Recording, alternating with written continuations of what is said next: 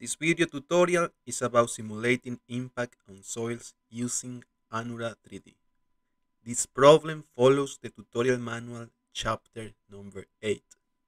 The objectives of this video are Apply initial velocities on the material points, use the moving mesh feature, to record reaction forces, to use the rigid body algorithm, and to create an axisymmetric domain using 3D cylindrical boundary conditions. We are going to solve two problems. The first one is a long wall impacting the soil, and we are going to use a 2D plane strain conditions. For the second, it consists of a free fall cone, and we are going to use 3D axisymmetric conditions. In both problems, the cross section is shown in this figure. And this table shows the coordinates of the problem for an easy definition of the geometry using GID.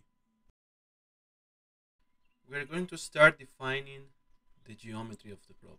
And we are going to use the table that is shown in the screen to define that geometry. So do click on create line and then go to the command bar below and start inputting the coordinates of the problem using space to define points. For instance, for point number one, that would be zero, space, negative one. And keep doing this until you complete the geometry.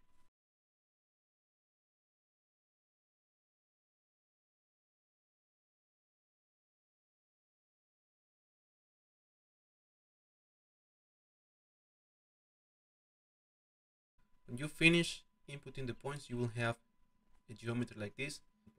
Now what you have to do is just close open points. So do click on create line again and click on the points. It will ask you if you want to join. Click on join.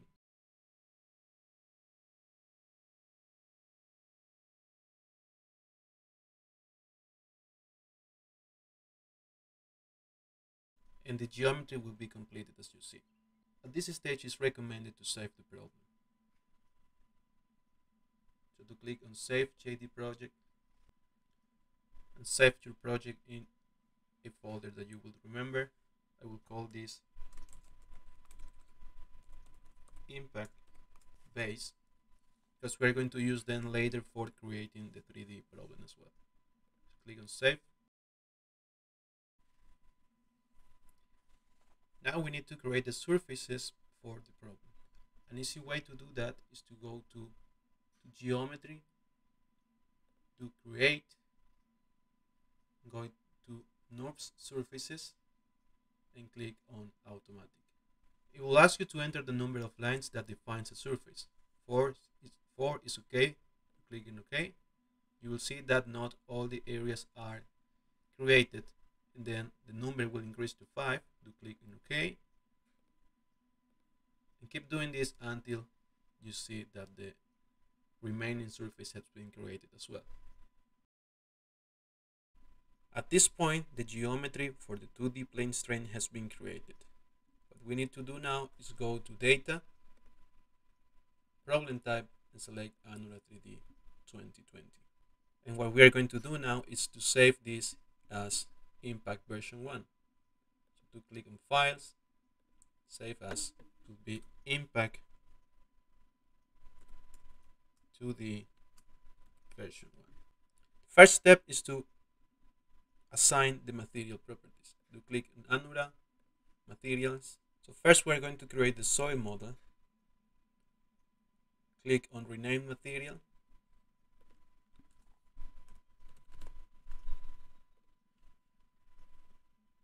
Select dry material, we are going to use an initial porosity of 0.5, density of 2650, okay, not 0.6. And let's choose Mohr-Coulomb. For Poisson ratio, we're going to use 0.33. Young's modulus is 5000 we're going to assign a little cohesion and an effective friction angle of 40. We're going to leave the effective dilatancy and tensile strain in 0. Then do click on Assign, Surfaces, and select the surface you want to assign this soil model. Now let's create a new material. We're going to call this impacting body. Select dry material for the initial porosity. This is going to be 0. For the density, it's going to be 3500 and we are going to use 0.5 of K naught. And then assign this material to surfaces and select the cone area. To check that the materials have been assigned correctly, do click on draw and then do all materials and this shows you that the materials have been assigned correctly.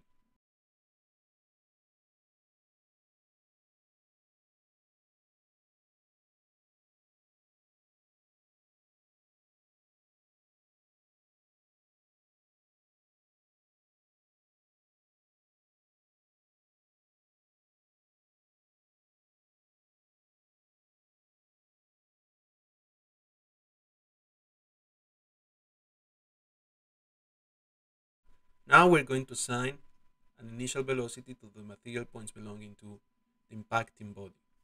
So to click on Anura 3D and go to Initial Conditions and in Initial Conditions select 2D Initial Velocity on material points. Specify the velocity on any direction, in this case the y direction, and we are going to choose 5 meters per second.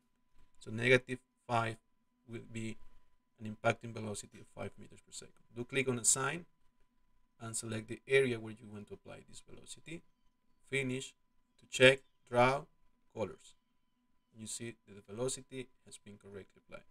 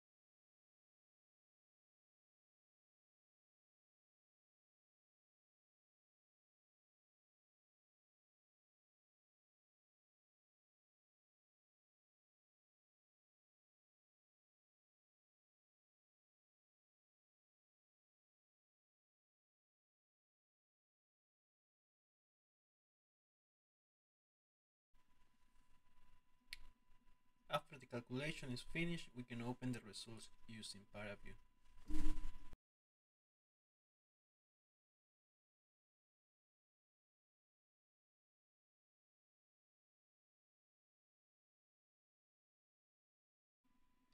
Select the Deviatoric strain Solid, then change the scale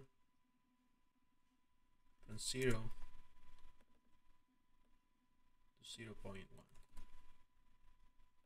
scale and then you can play the animation.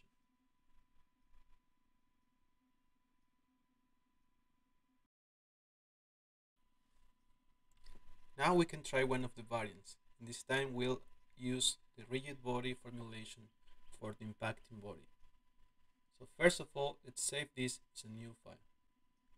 Call this version 2. To click on Anura 3D and then in Materials, and for the impacting body, click on rigid body. The following boxes ask you for some constraints of the movement of the body.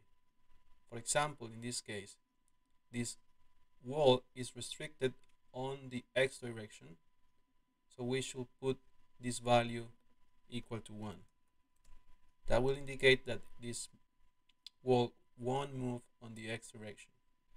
For the rigid body to work properly, contact algorithm should be applied. So click on Anura 3D, go to contact properties, choose 2D, body content, contact, and in material name, write the name of the material for which this rigid body is going to be in contact with. In this case, this is the soil. In, in order to simulate fully rough conditions, we are going to use a very high friction angle here. So I'm going to use 4 to enforce fully rough conditions between the wall and the soil. This is just to compare this solution with the elastic solution we did before without contact algorithm. Click on assign and select the wall area. Now do click on calculation data. Go to contact and apply contact. And change scale again if necessary. and you can compare the solution from both the elastic penetrating wall versus the rigid wall on the right. Results are very similar as you can see.